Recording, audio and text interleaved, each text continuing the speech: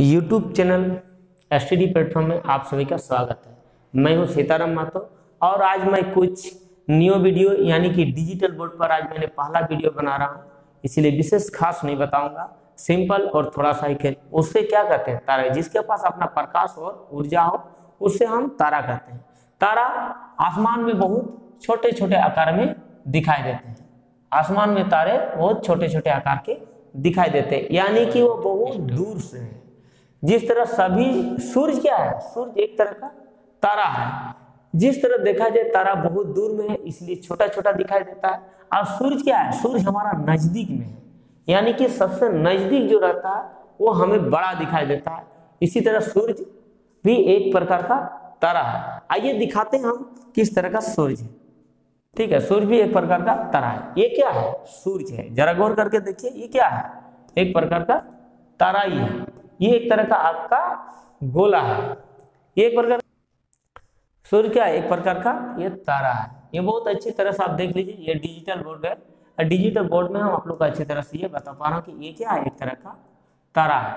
इस पर क्या है अपना प्रकाश और ऊर्जा है। जिस पर अपना प्रकाश और ऊर्जा देता है, वो क्या है? उससे हम तारा कहते हैं। सूर्य भी एक प्रकार का क्या क्या है? तारा कि सर, हमें तारा सूर्य क्यों बड़ा दिखाई देता है? तारा हमें छोटा छोटा क्यों दिखाई देता है? बाबू इससे बहुत दूर में क्या है? तारा है। इससे बहुत दूर में तारा है। उस स्टार, ये भी एक तरह का क्या है? आग का गोला है, वो भी एक तरह का आग का गोला ही है। जिस तरह ये सबसे नज़दीक का है, इसीलिए हम लोग इसको सूरज कहते हैं। लेकिन ये भी बहुत दूर में है।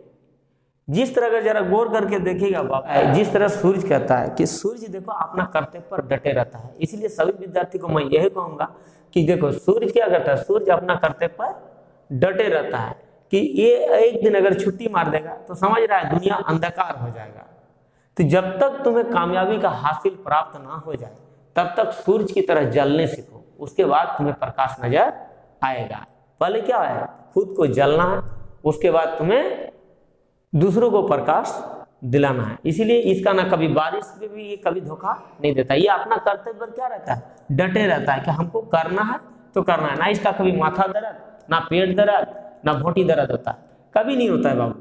ये क्या करता है? अपना कर्तव्य पर डटे रहता है। इसीलिए सभी विद्यार्थियों को मेरा कहना है कि अपना अपना कर्तव्य पर डटे रहिए। लक्ष्य की प्राप्ति हासिल जब तक नहीं होगा तब तक इसी तरह आपको क्या करना है? डटे रहना है। न बारिश हो, चाहे धूपा दे। तुम्हारा कर्तव्य कि तुम्हें हर तरह से डट के रहना चाहिए।